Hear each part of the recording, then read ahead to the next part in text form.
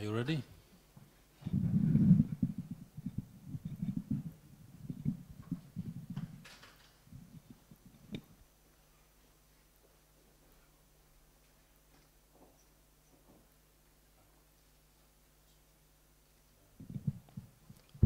Okay. Fine, the sound?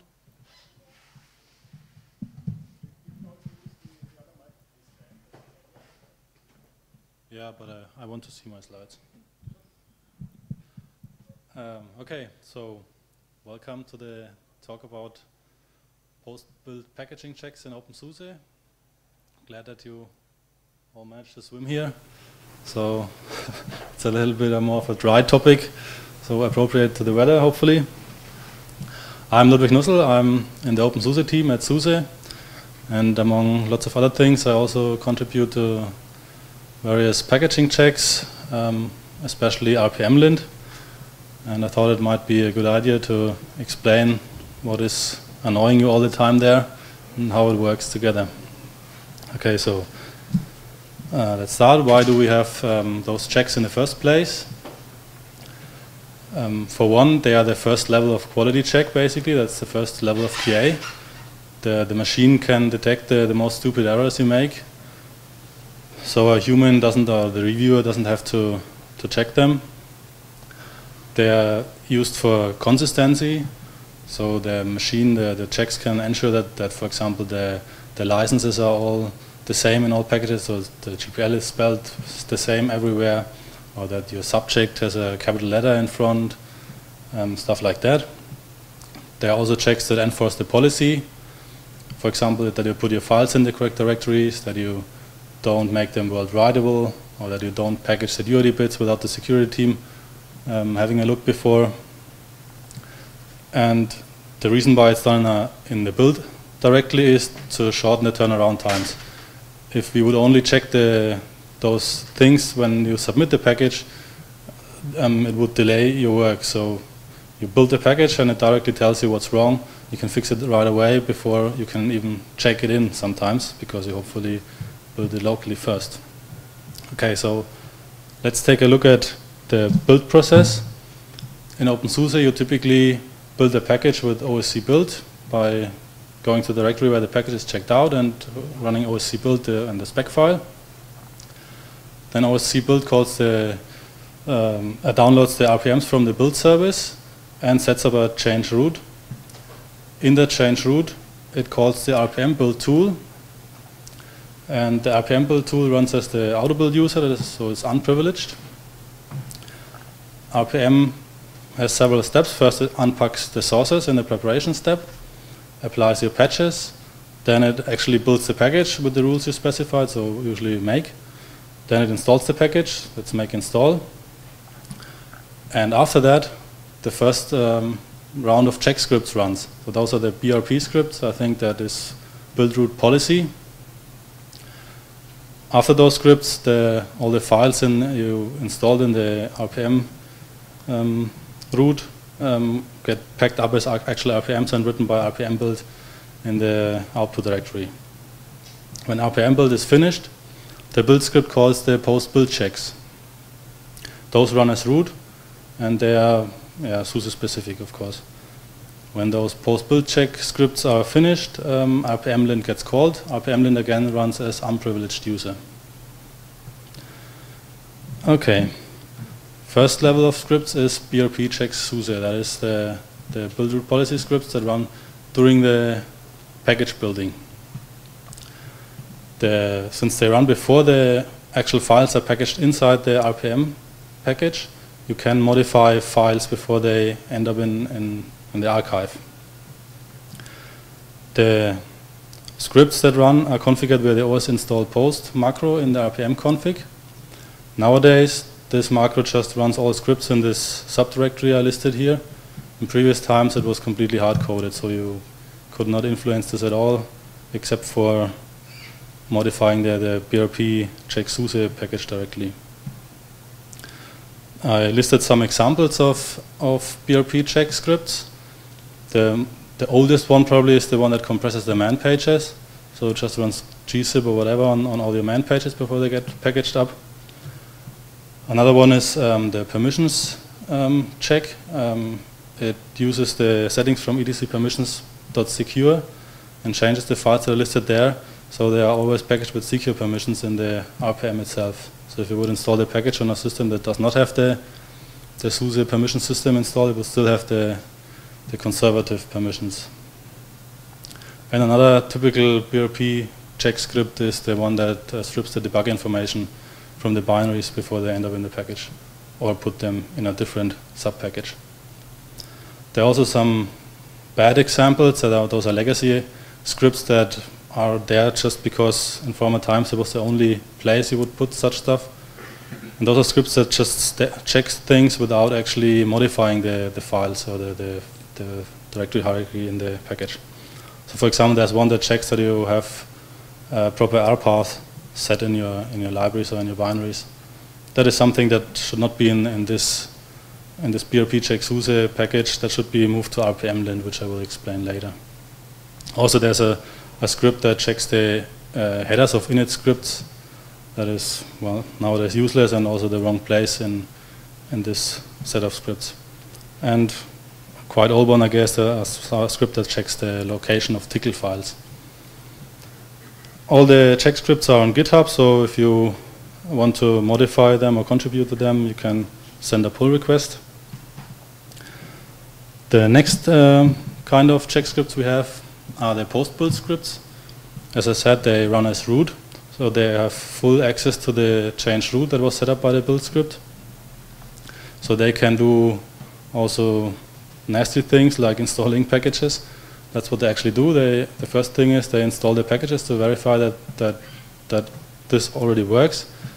Then they run the rpm dash dash verify on the installed package to check that you um, made everything right and, and uh, didn't install to some location that's uninstallable or something. And they also remove them again after building. Um, one thing that is in there is important and probably hits you every once in a while is the, the, the check for compiler error messages.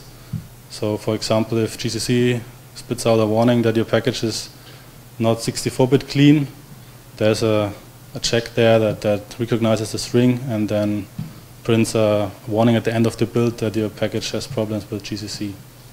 I think there are also some GCC warnings that are considered so bad by the script that they fail your build. It's important to know that this check is in post-build checks because you cannot override that.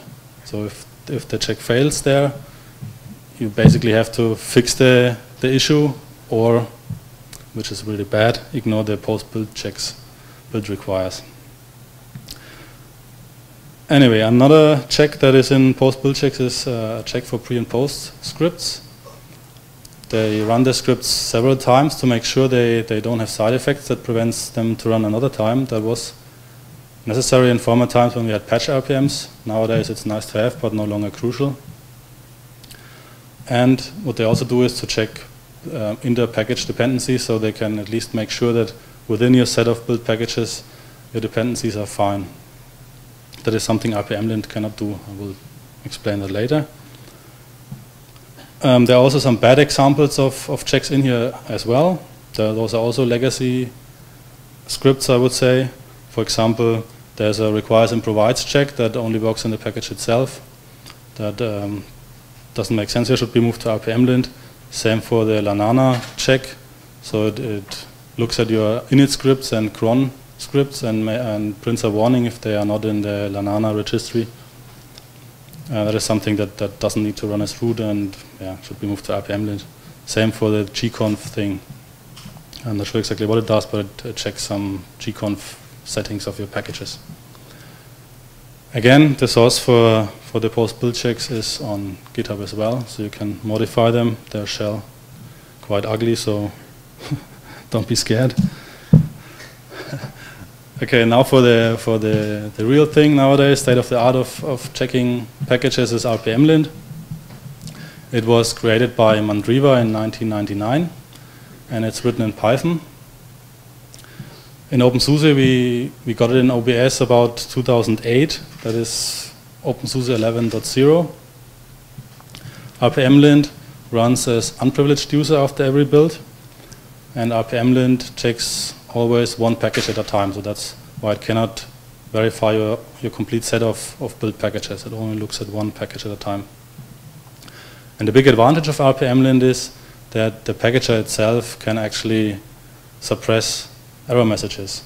So if for whatever reason you have a false positive or intentionally something that is that is considered evil by the, the standard factory policy, you can actually override that error or at least suppress the, the badness.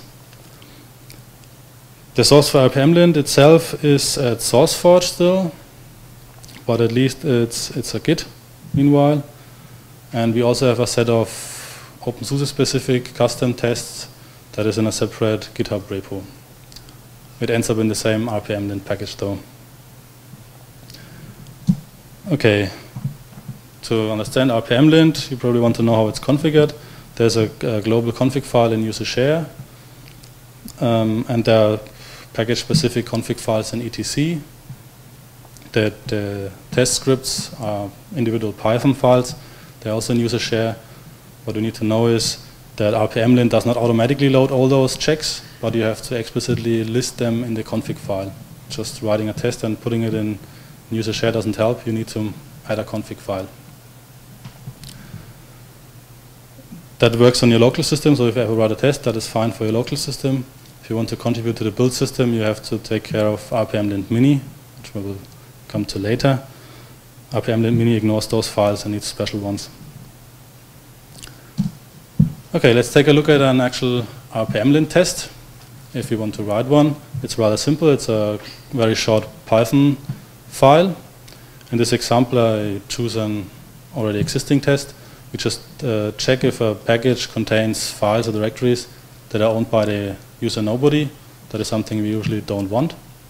So we write a check for it. As you can see in the first line, you create a class that inherits from the abstract check that does all the hard work for you. Just have to call the constructor and tell it how your check is named.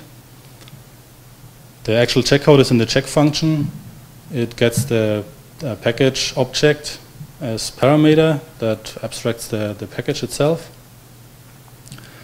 Has some, some useful methods. For example, here we can see the isSource function. For checking the user nobody, we don't need to check source RPMs, so we can ask the package whether it's a source RPM. If it is, we just return from this function. If we have a binary package, it continues, and we iterate over the the files in there.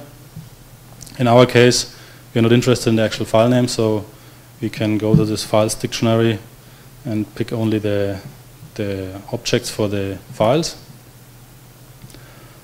We want to check for the nobody user, so in this uh, if line, we just check for for the owner of the file. There are, of course, all the properties like the mode or the, the group and everything. If it is the nobody user, we print a warning the API is that you pass the package object, then a short tag for your for your check. That is a unique identifier and some details. In our case, we pass the file name. There are three kinds of um, ways to report an error in a package. That is print info, print warning, and print error, depending on the level of, of how bad you think the, the issue is you found. And finally, the rpmlint API requires us to actually instantiate the, the class, so we create an object, and that will register itself in, in rpmlint, so it gets run. Yeah. With that, it would already work. You could run your check and it would find all the files. But of course, you want to tell some more information to the packages. So we also have the add details function and that should add some explanatory text to that is shown to the packager. And in this case, it's uh, probably a bad example because it doesn't tell what you actually need to do. But for that, we have a wiki page uh, on on the OpenSUSE wiki that lists all the common errors we have, and that should have more space to explain the actual errors. It's also better to have it in the wiki because there you can edit it and don't have to submit the package and rebuild the whole distribution to get the new explanation in the build logs. Okay, how do you run your test? Um, here you call RPM lint minus I means you, it should display the information there with, that you added with add details. Minus uh, capital C is the config from the current directory in this case. Um, the small c is uh, the check you want to run, and finally the RPM. In this case, we check the file system RPM because we know that it has one directory that is owned by nobody, and we can see the test works. Prints a warning that valid nobody is owned by nobody. Um, yeah, quite simple. Um, one issue with that is that the upstream RPM lint has lots and lots of checks, and many of them are errors, and we don't consider them bad. They're considered bad in Mandriva, but they're not bad enough for OpenSUSE. On the other hand, there are some warnings that we consider really bad in SUSE, but Mandriva only considers them warnings. So we have this concept of badness. You can assign a score to, to any error. And as, as soon as you use this concept, every error turns basically into a warning, unless it has a badness set. So there's some checks that uh, have a small badness, like you know, a header file in a, in a wrong package. It's just a small score. Whereas if you package a security binary without review, it's fatal, so it about, about your build. The threshold is 10,000 or something, but most packages are, are either very low or directly 10,000.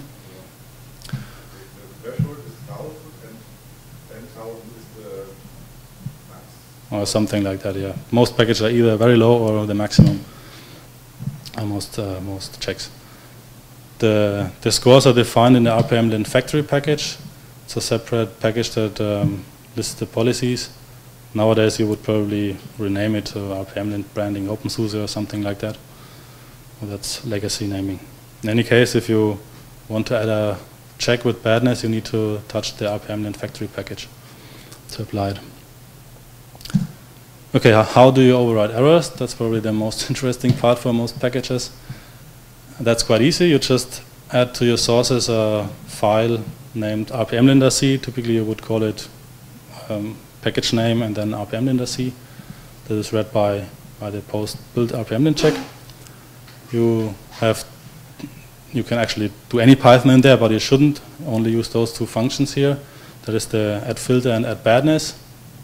You would use the add filter function to actually filter out false positive. So if you're sure that, that the RPM lint is wrong and you don't want to see the error at all, use add filter.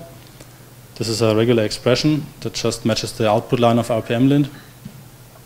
Put it there and you, and you won't see the error again.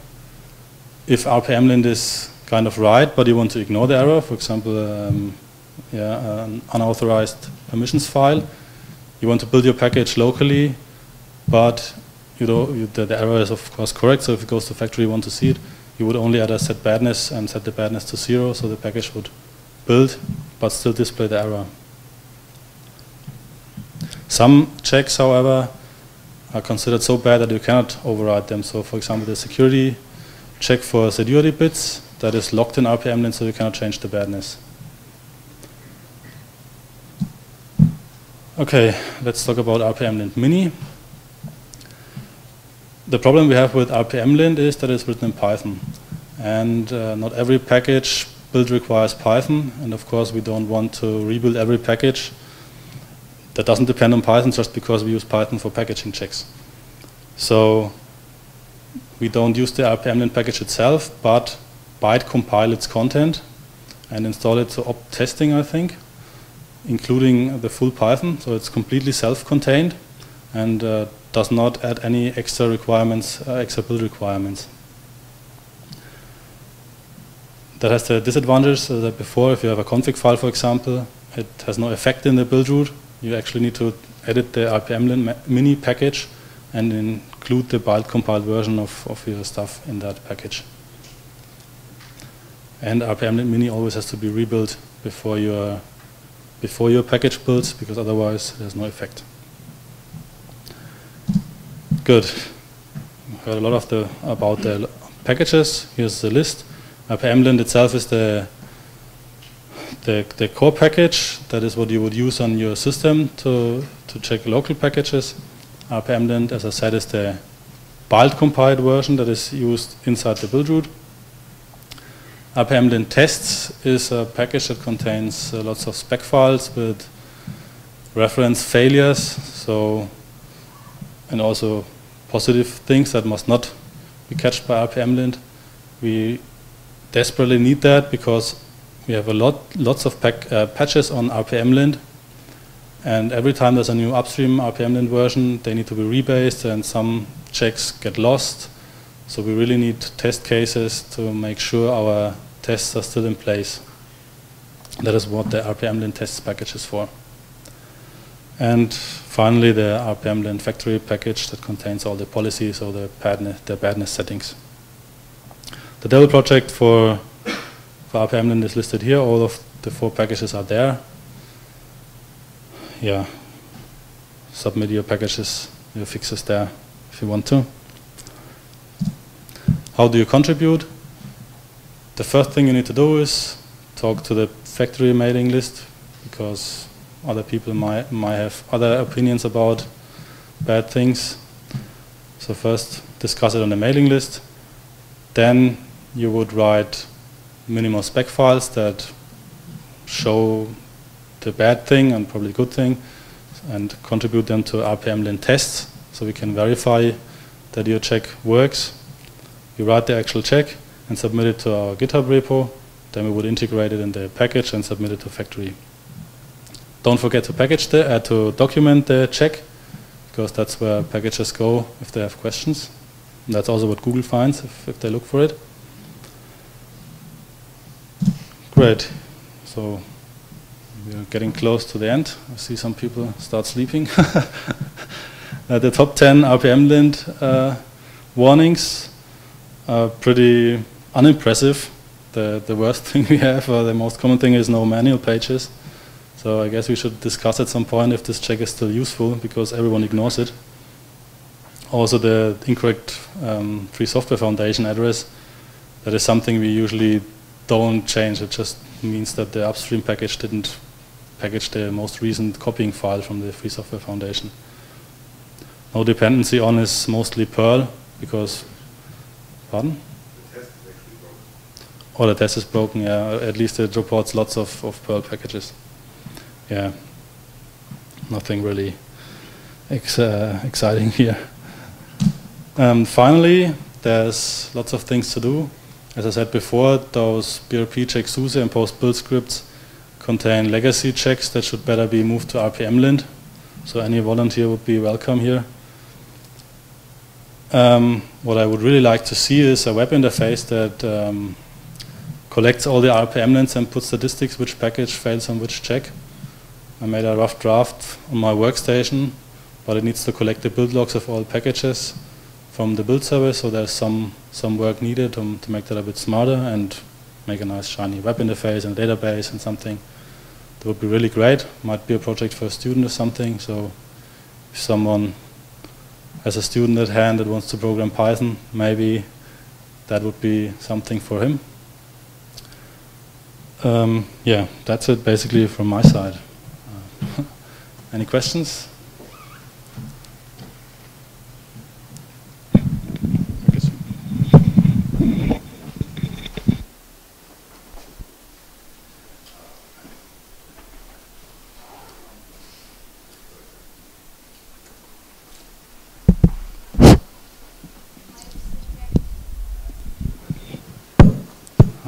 Okay, uh, I would like to ask uh, do you plan to uh, rewrite uh, at least some of the tests to some uh, C or C++? Uh, because uh, it's uh, running quite a lot of time of the build and there is a lot of builds in build service. They are performing these tasks again and again and we can save some time.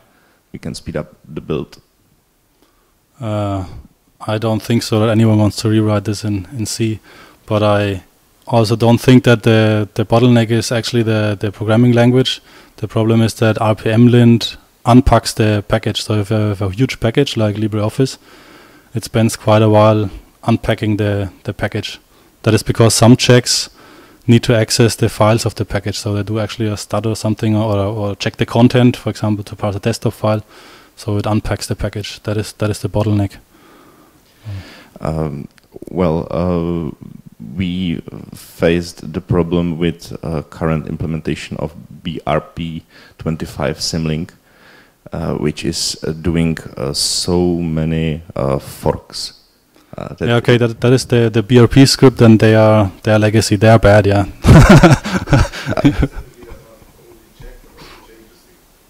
I know, but it's doing that in a very very inefficient way and there that uh, C code could uh, yeah. really help. Contributions welcome, I would say. okay. I don't feel the pain.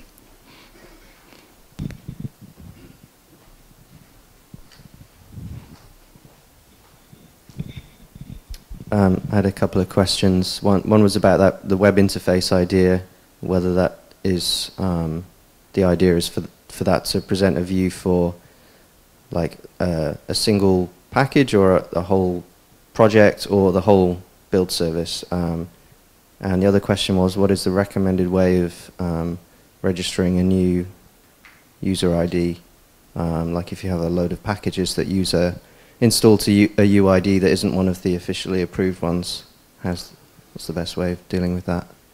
Okay, regarding the web interface, I mean that is just just an idea. I I made a draft on my workstation, and there I just made two views, one by error and one by package, so you can see all the errors that are produced in factory, and then see which packages uh, triggered that error, and uh, a, a package view where you click on the package like Apache, and then you see which errors are in there. So this is pretty simple, but is is quite quite useful. So sometimes you may have seen that I post lists of packages to to factory that, that triggered some error that is from my from my shell script that that did the parsing. But that is up to whoever wants to implement that. I mean, I think it's really simple. That there are just two or three views. It's really would be really easy to do. And regarding the second question with the user ID, currently the process is just you um, branch the rpmlint package, add your user to the config file, and submit it back. That's the current process. But I mean, I guess you saw the discussions there there are discussions upcoming with LSP that hopefully change the policy, then it gets more complicated.